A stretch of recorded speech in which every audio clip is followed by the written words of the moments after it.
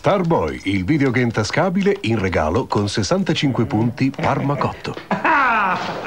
Eh, accattatevillo, no?